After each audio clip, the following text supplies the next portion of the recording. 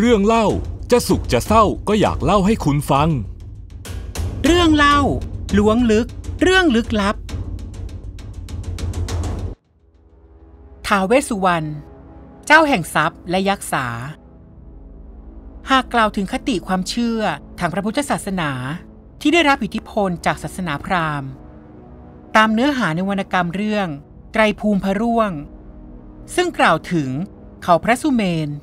อันเป็นศูนย์กลางของจักรวาล เป็นที่อยู่ของสรรพสิ่ง ไม่ว่าจะเป็นเทวดา วิทยาธร ยักษ์ หรือวิญญาณในภพภูมิต่างๆ และบริเวณชั้นล่างสุดของเขาพระสุเมน เป็นที่ตั้งของสวรรค์ชั้นจตุมหาราชิกา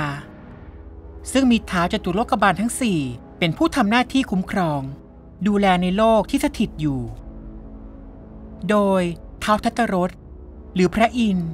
ดูแลโลกด้านทิศตะวันออกทำหน้าที่ปกครองคนทัน พระวรุณ หรือท้าววิรูปักษ์ดูโลกด้านทิศตะวันตกทำหน้าที่ปกครองพญานาค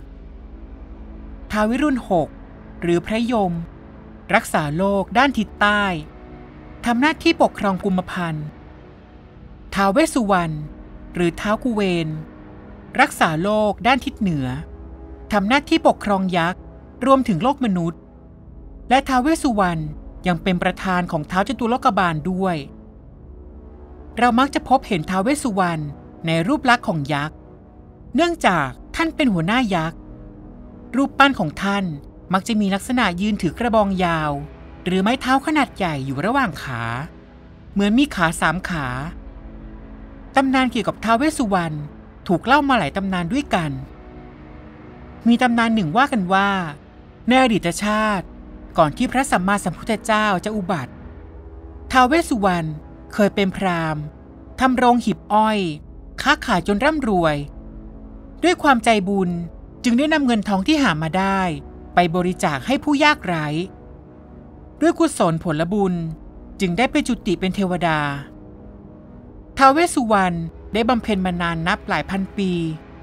พระพรหมและพระอิศวร จึงให้พรทาวเวสุวรรณให้เป็นอมตะ และเป็นเจ้าของทรัพย์สมบัติทั่วปัตภีเป็นเทพแห่งความร่ำรวย ดังนั้น ผู้คนจึงนิยมจำหลักรูปท้าวเวสุวรรณไว้เคารพบูชา เพื่อความมั่งคั่งอีกหนึ่งประการ ตรงตามความหมายของชื่อท้าวเวสสุวรรณคือคำว่า เวท แปลว่าพ่อค้า จึงหมายถึง พ่อค้าอันมีทรัพย์ได้แก่ทองคำ ส่วนอีกตำนานเชื่อกันว่า ในชาติหนึ่งของท้าวเวสสุวรรณได้ไปเกิดเป็นกษัตริย์ ครองกรุงราชคฤห์มีพระนามว่าพระเจ้าพิมพิสาร ทรงเป็นพระสหายกับเจ้าชายสิทธัตถะ ต่อมาเจ้าชายสิทธัตถะตรัสรู้เป็นพระสัมมาสัมพุทธเจ้า ก็ได้เสด็จมาโปรดพระเจ้าพิมพิสาร พระองค์บรรลุโสดาบันในที่สุด และได้ถวายพระเวรุวันมหาวิหาร ให้พระพุทธเจ้าประทับ เมื่อพระเจ้าพิมพิสารสวรรคต ก็ได้ไปรับอนิสงส์จากผลบุญที่ทำไว้ ให้ได้มีวิมานอันสวยงาม และจากการที่พระองค์ถวายทานอยู่เสมอ ก็ส่งผลให้มีทิพยสมบัติมากมาย ในรามเกียรติ์กล่าวว่าท้าวเวสสุวรรณคือกุเปรัน เป็นพี่ชายต่างมารดาของทศกัณฐ์แต่นิสัยใจคอต่างกันลิบลับ ระกุเปรันไปนับถือเท้ามหาพรหมผู้เป็นเทวดา และปรารถนาจะบำเพ็ญบารมีให้สำเร็จทำให้ผิดใจกับพ่อ ซึ่งอยู่ในตระกูลยักษ์ โดยเท้ามหาพรหมเองก็ทรงโปรดปรานกุเปรันอย่างยิ่ง จนประทานบุษบกให้ เพื่อใช้ลอยไปไหนมาไหนได้ตามใจปรารถนา แต่แล้วทศกัณฐ์ก็ไปแย่งบุษบกของท่านมา และยึดกรุงลงกาที่ท้าวกุเวนปกครองอยู่มาเป็นของตน แม้กระนั้นกูเปรันก็ไม่ได้แค้นเคือง อย่างตั้งใจบำเพ็ญบารมีต่อไปท้าวมหาพรหมทรงเห็นใจจึงสร้างนครอลากาให้กูเปรันไปปกครอง แม้ท้าววิสุวรรณอยู่บนสวรรค์ แต่ด้วยความที่เคารพนับถือสมเด็จพระสัมมาสัมพุทธเจ้าเป็นอย่างยิ่ง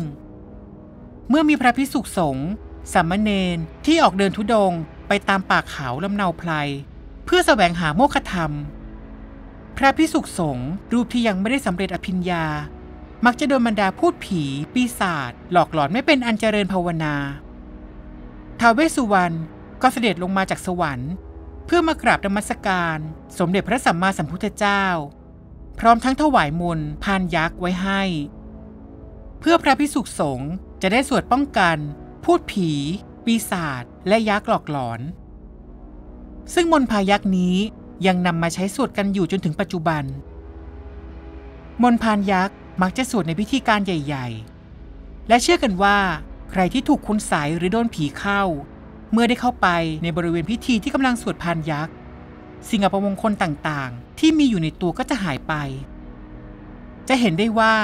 วัดวาอารามต่างๆ มักจะมีรูปปั้นยักษ์ตั้งอยู่ ซึ่งหากเห็นรูปปั้นยักษ์ยืนอยู่เพียงตนเดียว รูปปั้นนั้นก็คือท้าวเวสสุวรรณแต่ถ้าหากมีสองตนก็คือบริวารของท้าวเวสสุวรรณที่มาคอยปกปักรักษาบริเวณวัดนั่นเอง